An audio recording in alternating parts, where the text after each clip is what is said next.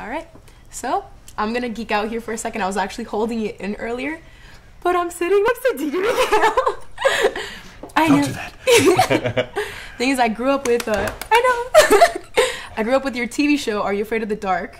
And then I went on to read the Pendragon series right here. And then I just jumped board with Sylo. Honestly, I'm sorry I skipped Morpheus Road. It was high school years, but I know. No. well, that's it, I guess. Uh, just kidding. But I'm just.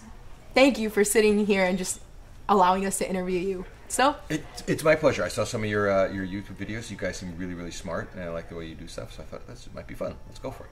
Oh, thank you. now, um, let's just jump into it. Do you have, um, did you have one defining moment that just kind of sparked the creation of Sylo? Oh no, Sylo came about from a couple of different sources. Only only two of which I can tell you. Okay. Otherwise, I'd have to kill you. Oh, okay, let's not do that. Um, my main characters, whether it's Bobby Pendragon or Marshall Seaver from Morpheus Road, or in this case Tucker Pierce from Sylo, I, I often start with a character, and in this case, and they're different versions of me. Mm-hmm. And in this case, I started with the character of Tucker, who is a. He describes himself from the book. He says, "I am a solid B minus student," and that's okay in my book. So, unfortunately, my parents have a different book, and that was kind of me back when I was in high school, or a guy who was kind of comfortable in his own skin and uh, just kind of liked letting everyone else do the heavy lifting, and everything was cool. So I wanted to write that kind of character who then had to step out and, and step up to the plate because of circumstances, faced with a conflict. What do you do when you can't be on the sidelines anymore? So I kind of started with that premise with that kind of character. So that was one part. Um, the previous book series that I wrote between Pendragon and Morpheus Road were always huge, grand scale stories. Uh, you know, Pendragon was ten different territories of, of Halla. Morpheus Road was was the battle between heaven and hell, basically, which can't get much bigger than that. Um, so certainly with Sylo, with the first book of Sylo, I wanted the idea of doing something in a contained area. And this thing takes all place on uh, takes place on Pembroke Island, so I just kind of like that idea of doing. I always like to try to challenge myself to do something I haven't done before. The third way that Sylo came about is what I can't tell you because it really speaks to the, the theme of the whole thing, and it's things that aren't really revealed until the third book. So that third magical thing that I'm not talking about, plus having it take place on a contained island with a guy who has to step up to the plate, is that's kind of how Sylo came together. So it wasn't any big. I've got a great idea. It's more thinking things through and putting them all together, and then voila, you know, Sylo, or the Sylo Chronicles, as they're called. That's what the series is called. Very nice name, by the way. And I will think about that third one as I'm reading through. And you mentioned, you actually brought up my next question. Is there a reason why you targeted young audiences or uh, teenagers, young adults? You just told me that um, you actually, um, all these main characters are different versions of yourself. Is Are you trying to send a message or? Uh, yes and no. Um, I, you're assuming that I write for young people. I really don't.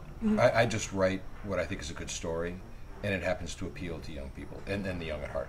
Um, I've been writing for kids, as you said, with Are You Afraid of the Dark, but even way before that, I've been writing for young people for a long, long, long time, decades. You know, I started writing ABC after school specials, which you probably don't even know what they are. uh, they were dramas that were on ABC after school, and they were special but they were dramas, and that kind of stuff doesn't exist for kids on TV anymore. So that's kind of jumping ahead. I kind of got out of kids TV to write the kind of stuff I like to write, um, and they're adventure stories. When I was a kid, the kind of wealth of middle grade and young adult fiction didn't exist.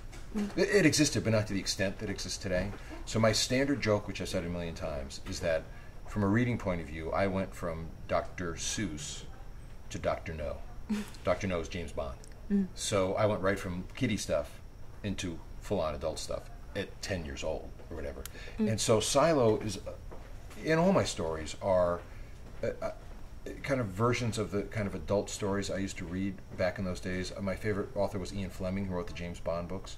Um, I also uh, read Alistair MacLean, who wrote a lot of adventure novels. And so Sylo is a little bit of those kinds of stories but written not necessarily for a younger audience. It's just the way my mind works. If I had a if I had a therapist, you can ask my therapist why I write that way.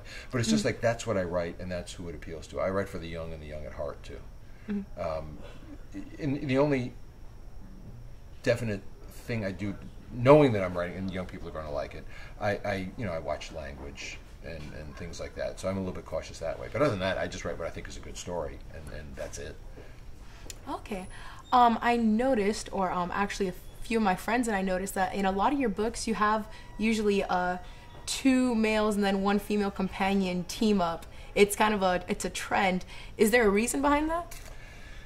Yeah, well, not a reason, but it's, I keep falling into that because um, I, my main character is usually guys, and I've always lamented this. I would love to write a girl story, mm. and what I mean a girl story, a, a story that appeals to girls mostly, because I'd be selling a billion more books.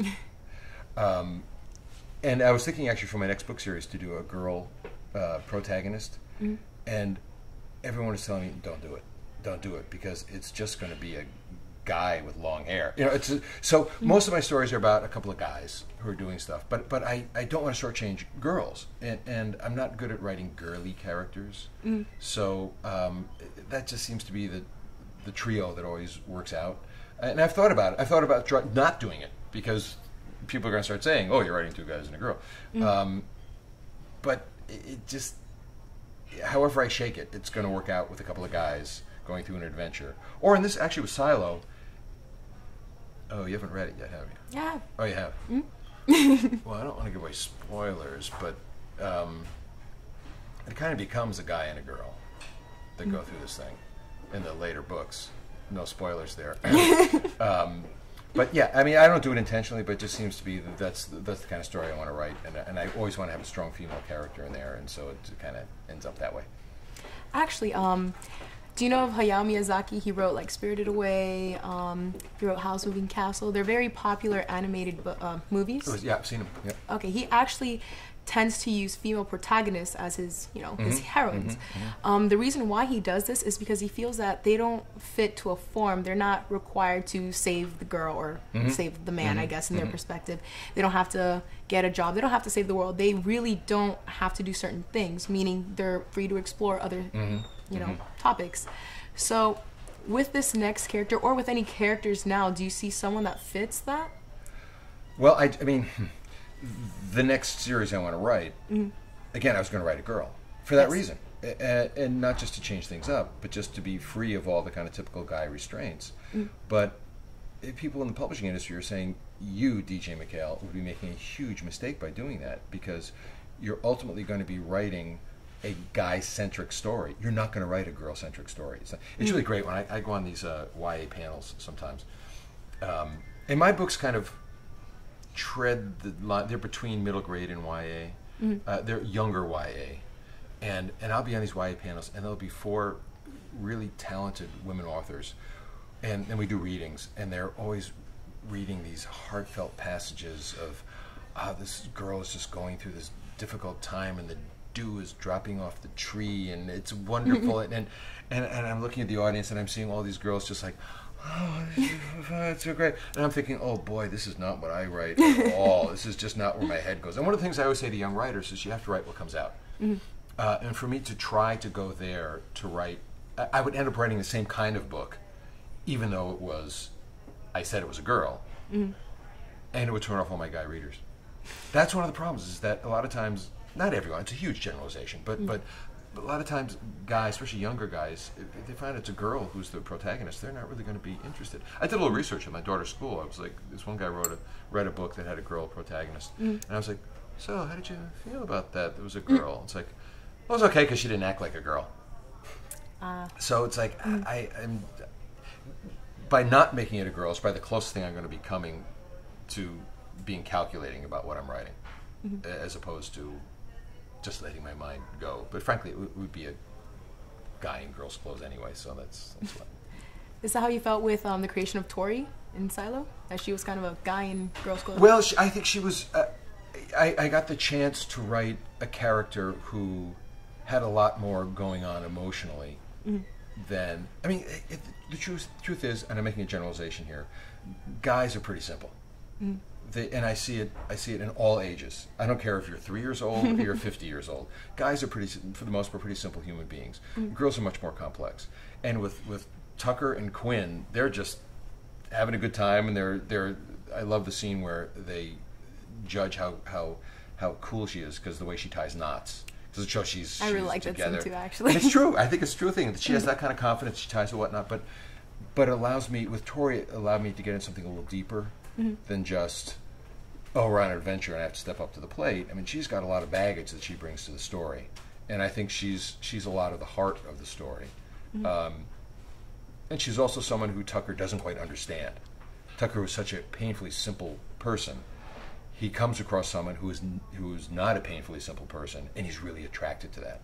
So, and that's one of the things I try to do with my books is that uh, I think the a number one important thing are the characters, and I'll give you an example. When when uh, when I did Are You Afraid of the Dark, I'd have writers pitch me stories all the time, and inevitably a pitch would sound like this. And I'd say, "Okay, what's your story idea?"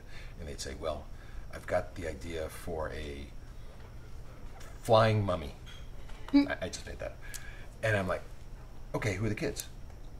And he'd say, I, I don't know, a couple kids. Anyway, this flying mummy would fly out of the sarcophagus and come down at night. Or I'm like, okay, so who are the kids? Because it was always about kids. Mm. And he'd say, who cares? Like, no, no, no, no, no, no.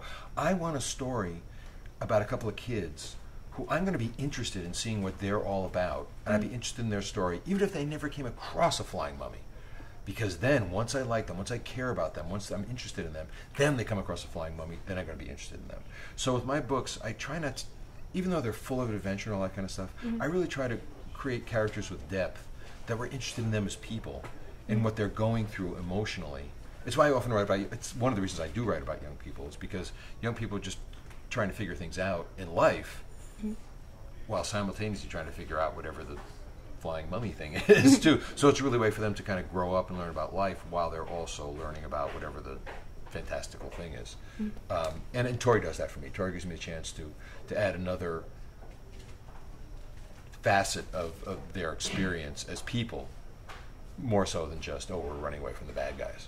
I just love seeing the contrast between Olivia and Tori. I, I don't know why. I just I guess I really like the complex character. Not saying that Olivia isn't complex. However, I just yeah. Olivia is far more cl- complex than you might imagine. but I just for some reason just had an affinity towards Tori. I'm glad that well, you kind of get a feeling when someone's going to become a main character and I'm glad she became a main character. Well, I, well, it's interesting you point that out because, I mean, Olivia, when you first meet her, she is such a cartoon. she is. I mean, she is just the, the, the cute, manipulative, spoiled rich girl. Um, but if you're reading closely, over the course of the first book, Sylo, there are a number of things that happen with her that she does, that she does, that are totally out of character. And, and Tucker makes mention of that. It's like, wow, I didn't expect her to do that. I didn't see her coming from that. And, and so those are some of the clues that I'm laying in as to what the big picture is on the whole thing. So mm-hmm. all of our characters make journeys. Tucker makes the biggest journey, but but all of our characters make certain journey. And and as I said, I write mysteries, so you need to be reading closely to mm. figure out what might be happening. And there's a lot more bubbling below the surface than you might expect. Oh, now I'm excited. Well, I'm always excited, but I wanted to bring up now how can you, you know, not talk about Sylo and mention Ruby? So, did you base Ruby off of an actual drug? Did you do any research on that? Um, uh, research, no, but um, Ruby. It, there's two things about Ruby. Uh, I mean, it has presented itself. It's, it's like a super steroid. I mean, here we have it's the and, and not try, trying to make a story about steroids and the evils of steroids and all that kind of stuff when it comes to athletics. Um, but that's kind of the way it's portrayed in the story, uh, and it's and it's Tucker being tempted to use this. And it's one of the things I always like to do with my characters is to give them decisions they have to make, mm-hmm. and the decisions they make, like life, it's not always black and white. Mm-hmm. And it's very rare that you say, well, that's definitely the way to go, and because that's the bad way to go. So I try to present these decisions where, like, okay, I think that's the way to go, and maybe it is the way to go, but because I'm going that way, there may be some repercussions because I'm going that way. And that's what I try to present with the ruby. I mean, it is a scary substance that gives them abilities beyond what's normal, but there's a price to pay for that. And, and they're faced with decisions that gee, do we do we use it for the greater good? So again, I always like to face these kind of moral and thematic devel- uh, uh, dilemmas for the characters. Um, and you you could draw the analogy to steroids, um, but that's ultimately not what it's about. Um, the ruby in the later starting with Storm, you find actually find out in Storm what the ruby's all about uh, and how it plays into the larger picture. Um, but the ruby exists for a very specific purpose, and that's just hinted at in Sylo, and it really comes to bear in, in Storm. So, uh, and I was a little nervous, frankly. I was nervous that.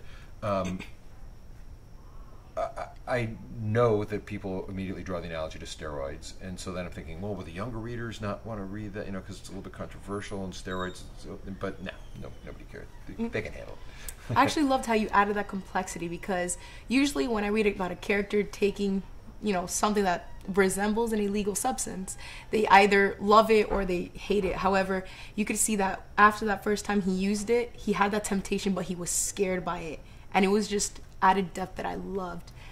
Well, I, th- I think well that's I think that's um, steroids or any kind of drug that may be interesting to use. It's it's there's a scary component. Mm-hmm. If, if you have any sense about you, there's a scary component. It's like, wow, that was cool, but yikes, Ugh, that's a little scary. So that's kind of what I wanted to show a little bit. and you captured it perfectly. Now, I wanted to bring up uh, can we expect any crossovers? Because I do recall that you did have some crossovers in some of your other series. No, No? Um, in fact, I tried to. Mm-hmm. Um, again, I try to say this without giving away a spoiler.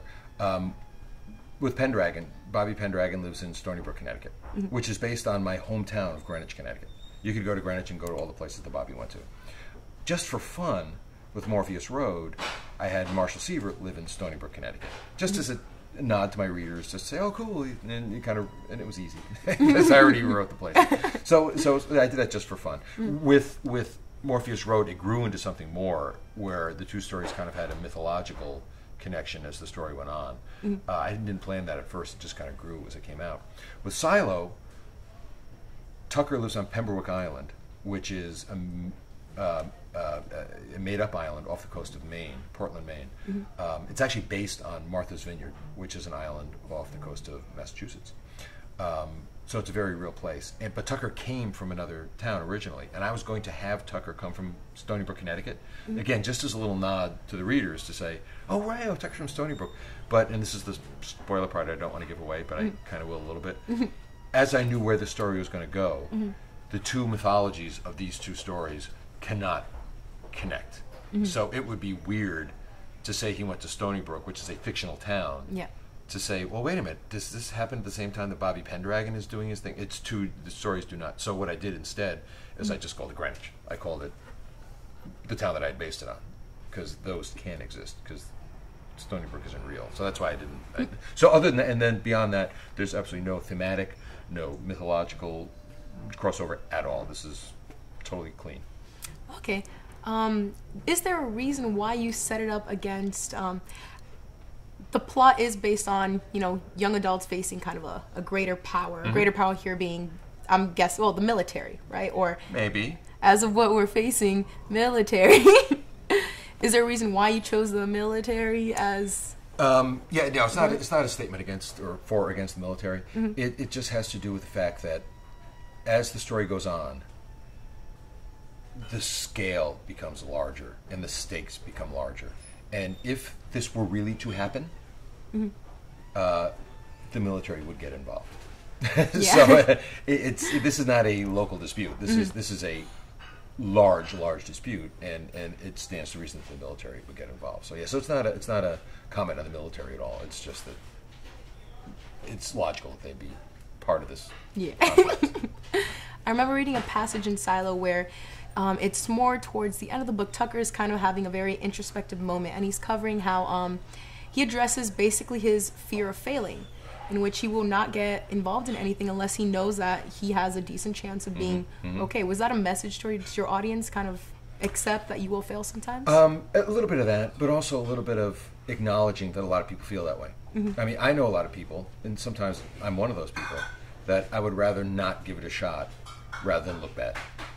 And you know, I don't want to say that I'm coming out and saying, "But you have to give it the old college try." Very, Yeah. you know, nothing ventured, nothing gained. You know, I, I don't want to go so that far. It's more that what I try to do with my characters is have them have very real and relatable issues mm-hmm.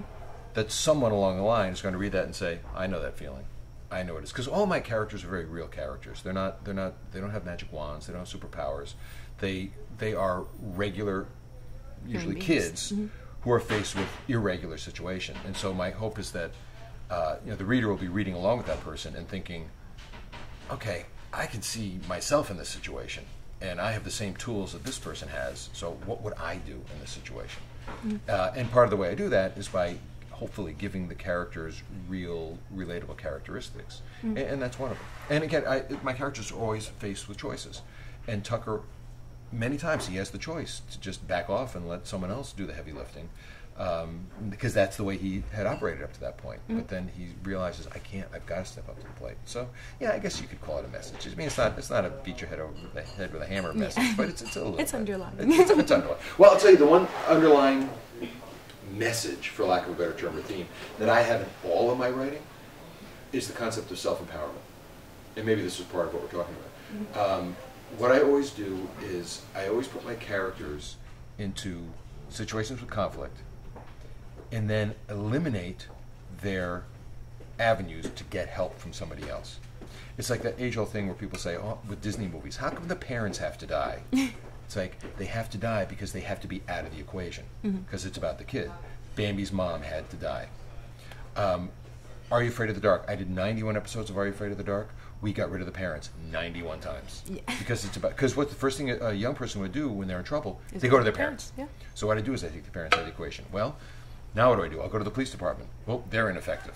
Okay, well maybe I go to the people in charge. Well, they're ineffective. What I so I constantly close off avenues to the point where the people realize the only person that can help me is me. Mm-hmm. It's up to me to do it. So that's probably everything I've ever written has that theme in it. So, so to a hmm. certain extent, it's it's not so much about overcoming fears as it is just realizing the best person you can rely on is, is yourself. Hmm.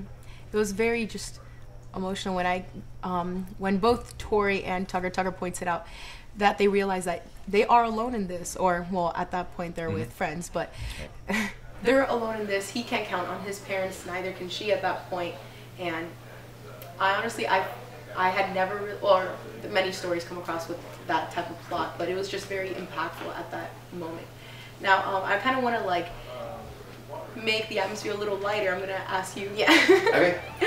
But um, did you base any of the names of your characters off of someone that you know? I remember reading this is me being creepy on an online forum that you named Dave Storm, I think, after a friend of yours. Or That's great, Dave Storm. Uh, oh, that was it was a very small character. A lot of times with small characters, minor characters, I do that. I made a TV show called Flight Twenty Nine Down, and one of the stars of the show is a terrific actress named Lauren Storm, and her dad's name is Dave. And I met Dave, Dave Storm. Dave Storm just sounded like a newscaster. Dave Storm, Action News. And whenever I'd see him, I'd say, "Hey, Dave Storm, Action News." I, don't, I think he probably thought it was annoying.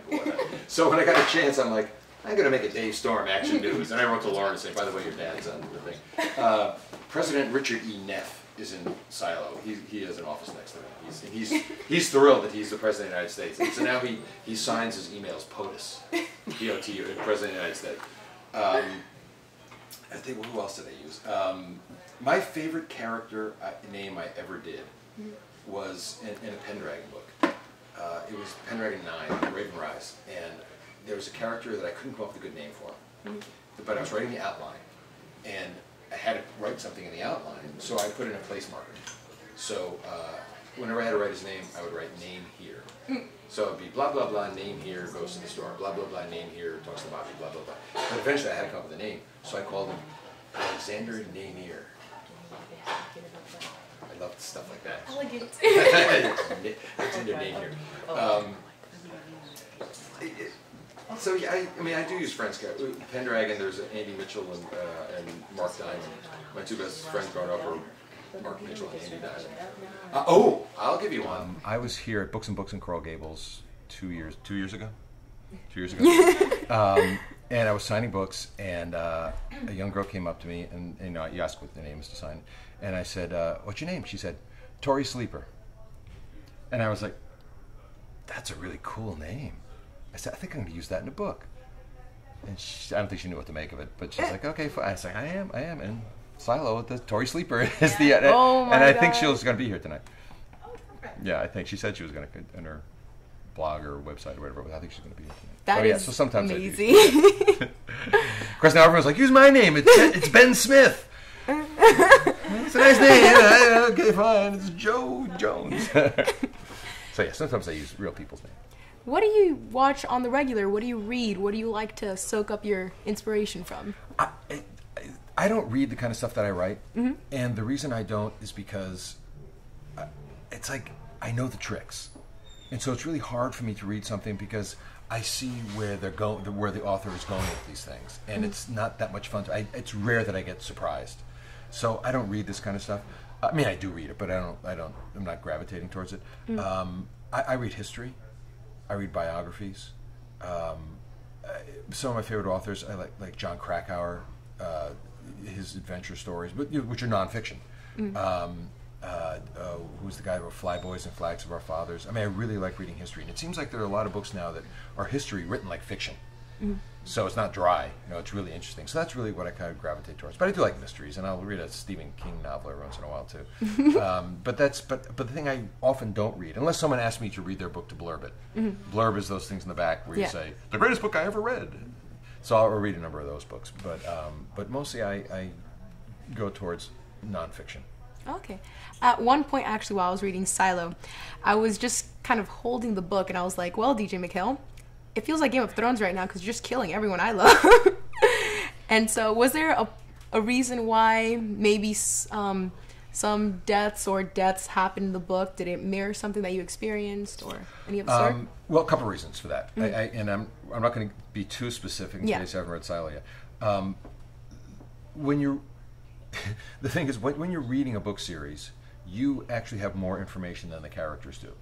That char- that information being that you know it's a book, and you, the reader, know it's a book or it's a trilogy, which means the main character is probably not going to die until maybe the end. So therefore, it's like, well, so where does the tension come from, or where, where does the where does the je- jeopardy come from, or the tension out of the jeopardy? Because if you know they're not going to die, why? So my rule of thumb is everybody else is fair game, uh, and usually the body count's pretty high. Um, with one in particular, which is maybe what you're referring to, um, a character dies, a major character dies, and I did that specifically for a couple of reasons. I did it because I wanted to show the extent of how bad the situation is. Mm. I wanted to ramp it up for the reader to say, "Oh my gosh, this is no fooling around. This isn't just little kids running around. This is serious." Mm. But almost more important than that was it wasn't so much about that character; it was about Tucker, where any good story, the character wants something, and the conflict is what's preventing the character to get that, and what the events they go through that change who they are. And by that character, that happening to that character that I'm speaking very roundaboutly about, by that happening to that character, that changes Tucker. That really makes him crystallize his, his agenda to suddenly stop being, uh, I'm not going to be any part of this, to realize, no, I, I, I am going to step up here, whether it's for, for anger or vengeance or whatever. And so that, that incident really does change Tucker. So it was much, wasn't so much about what happened to the character as it was what happened to that character, how it affected Tucker. So that's why I did that particular one. But other than that, people have to die. Or, or, or you're just gonna be like, oh, it's a kitty book, and no one's gonna. So people have to, people have to die. Mm. I did that with Pendragon, literally. I know. I mean, if, if a book's called Pendragon, you know Pendragon's not gonna die. But everyone he loves. Everybody else, yeah. It's like, it's funny you said that about Game of Thrones because uh, a friend of mine uh, works on that show. He uh, he does all the visual effects on that show, and I, I haven't been watching it. And I watched the first season, and and I'm really enjoying it. And I said to him once, I said, uh, "Wow, I'm really liking the show. I like that character." And he goes, "Don't get too attached to anybody. it's so true. They're not going to be around." and so it's what you just said. All right. Um, let's see. And this is this is the geek in me, but when I was reading Pendragon, I was I really thoroughly enjoyed Hobey Ho. That's just a little statement. and um, I think when I read uh, it was the forward, I think I don't remember, but you mentioned it at the end, and it brought back memories. And I was looking for something here, nothing of the sort, no similar statement. Um, but where did you get Hobey Ho from? I, I actually know where I got it from. Hobey Ho came from two places. It was a combination of two things. Um, Hobey Ho was said by a character, Spader, who lived in that water world of Cloral. And he was always running around in his speeders and the jet skis and all that kind of stuff. So uh, a good buddy of mine used to work for a company called Hobie Sports. Hobie Sports makes outdoor wear, water wear, catamarans. So it's, it's like all water stuff. It's spelled differently, but it's Hobie. So that's where Hobie came from. Uh, the Hobey Ho came from a Ramon song, Blitzkrieg Bop, Hey Ho, Let's Go. So, so I turned Hey Ho, Let's Go into Hobey Ho, Let's Go. So it's, it's the Ramones. Oh, that's know the song? amazing. Yes. Okay. um, let's see. Do you have any? You probably get asked this all the time. What is your advice for um, budding artists or writers or filmmakers? Um, get used to hearing no. You can't take no for an answer, because no matter how great a thing you make, someone's not going to like it, and they'll tell you that. So you can't let that get you down, and you can't let that allow you to be discouraged. Um, that's not to say you shouldn't take criticism and make it better based on the criticism, but you will be hearing no quite a bit. Uh, that and if you want to pursue a career in the arts, it takes a certain personality to do that. And, and I don't mean what their talent is, I mean their personality. Because, uh, and it's one of the reasons I got into it, frankly. Why I transferred from Villanova University, where I was in pre law, to NYU, where I was film production, where I'm not the kind of personality that can be doing a job that's the same thing every day. Where I know where I'm going to go to work every day, where I know what my paycheck's going to be, where I know what hours I'm going to work, I know what my lunch hour is going to be. I just don't have that personality. Um, so the trade-off is when you do a profession or you follow a profession that's in the arts, it's so flexible. You never know when the next paycheck's going to come. Things are always changing, so you have to be able to withstand that. If you if you're not able to withstand the ups and downs, then you better get that job that's straight ahead. Yeah. But no, if you are going to produce, if you have the personality that says uh, I, I can, I want things to change, then you're okay. A, a great thing happened once when I was in film school, uh, it, and it really it was important to me. It was in a film school class, and there were big arguments going on between the students. They were like fighting over. I don't remember what it was, but it was mm. it was over a film or yelling and this, this kind of stuff, and just really going over the top, silly young kid stuff. Mm. And the professor, who is like the, the, the major mentor to so many filmmakers, uh, his name is Haig Manoogian. It was Haig Manoogian. He's passed away, and he came up to the front of the class and he's laughing. And he was such a no nonsense guy, and he said, "Look, look." Mm. That's the way he talks. He says, "Look," he says, "You guys, I want you guys to understand something." He said, "If you un- if you un- listen to what I'm going to say, and if you understand it, and you accept it, and you don't fight it, you're going to be fine. If you don't accept it, if you don't believe it, and you fight it, you better get out." And he said, just for the, you have to understand that just for the very fact that you're sitting in this room right now means you're a little bit off. Because you're all a little bit off. You're not following the normal path the way other people follow it. And accept that and embrace it, then you'll be okay. But if you try to, try to, uh, you know, push yourself into a, uh, say, I, I need to follow the norm, I need to uh, follow standards, it's not going to happen. So, so you can get out and get a job as an accountant right now. So mm. that, that's my advice: is be used to the ups and downs, and get used to, the, and, and and the ups. And there are a lot of great ups too. Believe me, mm. that's that's that's a wonderful thing. But there are a lot of downs too. So you have to be used to get used to that kind of stuff. Okay. What, is there a tie with that um, and your switch over from television to books, or do you still do both? Well, I know you do books, but do you still Yeah. do any television or film? Um, I, I haven't been doing kids television for a long time because kids television has really changed. Uh, the kinds of shows that I like and, and the stuff that I enjoy making really isn't made anymore. They don't make dramas for kids anymore. Uh, it's a shame. There was a real renaissance in TV in the 70s, 80s, and 90s where you can get any kids could get anything on TV. There's a lot made for them. Now it's there's not. I mean, there's some still some good stuff, and stuff for little kids is still pretty good. But for that age that that is attracted to my stuff, that kind of middle grade, tween into teen stuff, there isn't a whole lot of stuff except for these sitcoms that you know, some of them are okay, but that's all there. It's a steady diet of that, and it's not very good. So it was in, in working on a new show for Nickelodeon, a new drama, new, a new. Uh, it was going to be a spooky show to take place of Are You Afraid of the Dark. That was going nowhere, and ultimately they didn't do it because they said we're not doing dramas anymore. That's when I thought, you know, I think I'll write a book. I think I see the writing on the wall that the kind of stuff I write is not what kids TV is anymore. Uh, on the film front, um, I'm very much involved. Uh, we, we put together a package to make the Sylo movie, um, and we're working on that right now. If the contracts ever get done, it's taking forever. Um, so we have a couple of, of pretty great people, a director and a writer and a producer. The woman who produces all the X Men movies is going to produce it. Wow. So yeah, so that's not me not necessarily Yeah. going to be made, but we're, we're going to start working on the script pretty soon. So uh, so I still have a foot in the film business, and you know I dabble a little bit, but it, it's books is where it's, it's at for me. Uh, are you excited if that were to happen to see your characters come to life? Oh, sure. I mean, because at heart, I'm, I'm a film guy, and and one thing that's kind of good about it is I don't think I'm being treated like a typical author who has no clue how to make films. Where uh, you know, it's not just like, okay, thank you for the book, thank you, goodbye, you know, go away on your way, go back to your typewriter.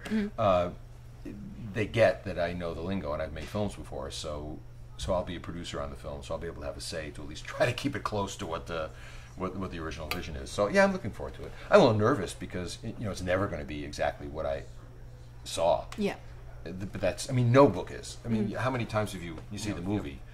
It's never. Yeah, there are a few trade-offs, I guess. There, there mm. really, I mean, you can't translate a book right to screen. Yeah. It doesn't happen. And one of the great things about books is that it, it's the best form of interactive fiction.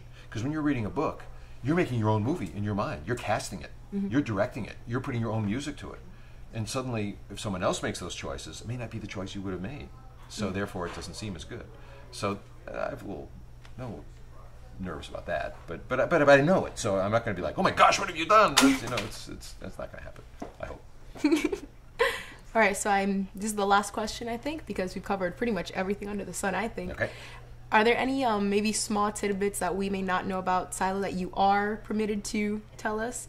can be a random fact, anything. Yeah, I can do that. Um, this is only this isn't a spoiler. This is a this is a warning. Oh, okay. Fear. Um, I've been getting a lot of of grief. Is that the right word? Because Sylo ends on such a big cliffhanger. Um, what what I did with Sylo, I, I I love writing villains. Villains are the most interesting characters to me. Because the villains are the ones that are the geniuses that are coming up with these evil. The, gen- the, the villains are like the authors. Heroes are noble and brave and all that kind of stuff, and they're going through trials and tribulations. But it's the villain that comes up with this stuff. So I love writing villains, and I like doing different things with villains. With Sylo, at the end of the first book, you're not even sure who the main villain is. There's so many possibilities. So that's something that's very, very different. Here's the warning part. At the end of Storm, which is the second book, you'll know who the villain is. You know who the bad guy is. You know who you should be rooting for, for the most part. You know who you should be rooting for, you should be rooting against. But you still won't know why they're doing what they're doing. It's still, I mean, I've laid clues throughout, but you still won't know. It isn't hmm. until Strike comes out that I pull the curtain back and reveal really what it's all about. And, and of course, what I'm hoping is that readers will follow along and they'll get to that point when I reveal the whole thing. They'll just be like, oh my gosh, I didn't, oh, right, it was because he did that and she did, th-" and then it all kind of clicks together. My hmm. fear is that somebody will read it and go, what? A giant spider? reference to a certain book I will not mention. Um, um, I don't think that's going to happen. I, I think, and, and also I will say one thing, and this is just me being proud of my work. Uh, the way the Sylo Chronicles ends, ends like the last chapter. I love some of my best writing that I feel I did is the way I summed up the Pendragon book in that last chapter of the Soldiers of Halla. Um, the Sylo Chronicles ends not in the same way, but I feel the same way about it. That I've come up with the, the kind of button up. I mean, the story ends, the story concludes, Yeah. and then there's the kind of the wrap up of, of what the the epilogue is, and I'm really really proud of that. And I think it's really really cool. So I'm, I can't wait. It comes out in October, so I can't wait for, for people to get to that to read it to see. Hopefully they'll like it though as much as I do. Oh, I'm pretty sure they will. Thank you so much for letting me interview you today. DJ MacHale, everyone, and this is Susie at The Inspirationist. Thank you and have a great day. Aye.